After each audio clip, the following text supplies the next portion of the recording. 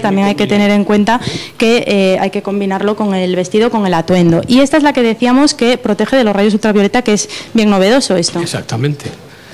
Lleva un sistema de tejido en poliéster y algodón protegido con una superficie antirrayos ultravioleta. ¿eh? O, sea, que esa prueba de...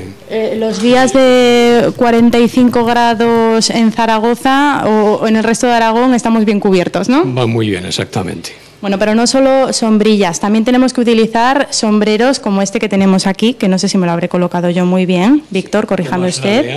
Y más metido, este queda perfecto así. El adornito de lado, ¿eh? que es más conveniente. Bueno, pues eh, los sombreros también tenemos que tener en cuenta que nos sirven para protegernos en verano. Los hay de dos tipos fundamentales. ¿Cuáles son, Víctor? Sí, aquí tenemos el modelo que es de paja, ¿eh? con un cíngulo de tela, y luego también el de tela. Aquí tenemos dos de paja, que serían este y este, que hemos escogido eh, dos modelos de color negro.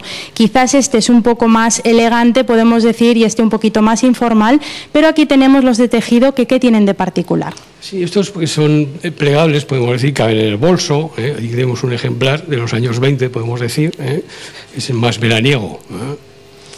Luego el tamaño, modelo borsalino, también de paja, que es más de vestir. ¿eh? Bueno, ese lo podríamos exacto, utilizar con un vestido y como decimos, este se puede plegar y llevar fácilmente en el bolso. Así que ya saben, tanto un sombrero como una sombrilla se pueden encontrar sin ningún problema en el centro de la capital aragonesa.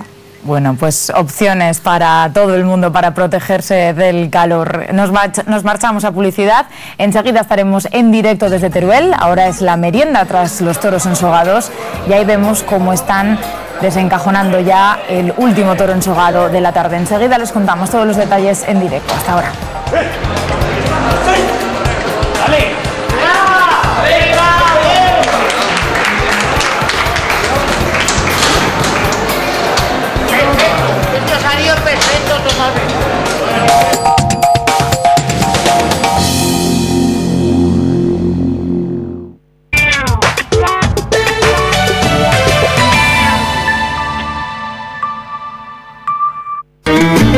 Esta semana la llave maestra nos